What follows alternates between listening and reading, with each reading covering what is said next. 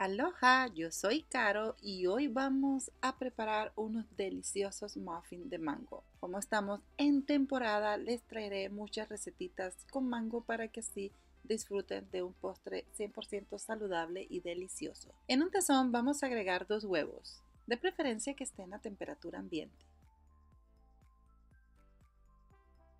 También agregamos el puré de mango. Básicamente solo debes triturar el mango en la licuadora o procesador sin nada de líquido y ya tienes listo el puré. Todos los mangos son diferentes y esto no hubo necesidad de colarlo, pero muchas veces trae algunos cabellitos y mi recomendación es que lo pases por un colador después que lo hayas licuado. Y ahora vamos a integrar el aceite de coco y batimos todo muy bien.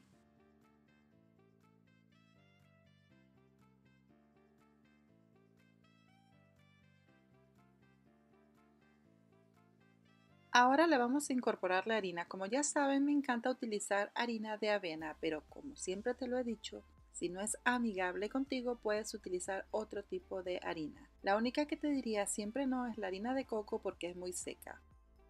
También vamos a agregar polvo para hornear y bicarbonato de sodio. No te olvides de revisar la descripción de este video que ahí te dejo todo con detalle para que te salgan perfectos. Ahora mezclamos todo muy bien hasta no dejar grumos. Cuando preparas un postre que lleve mango, realmente piensas en no agregarle ningún tipo de edulcorante ya que está bastante dulce.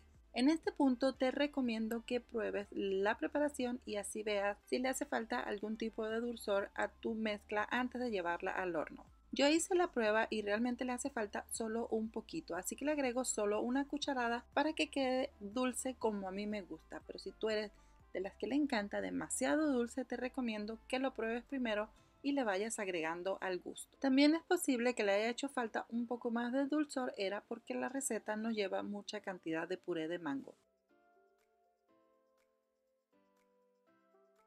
Para hacer estos muffins voy a utilizar un molde mini, pero puedes utilizar el que tengas disponible en casa.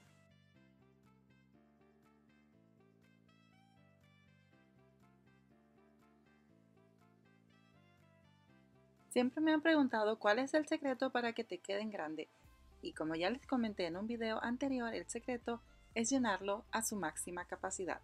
Así que los llevo al horno y no te olvides de checar la cajita de información que ahí te dejo todo con detalle. Y este es el resultado final. Miren qué esponjosos han quedado, demasiado bellos, son diminutos pero deliciosos y te puedes comer uno en un solo bocado. Si pones en práctica esta receta, no dudes de compartirme tu creación a través de mis redes sociales. Nos vemos pronto con otro video. ¡Chao!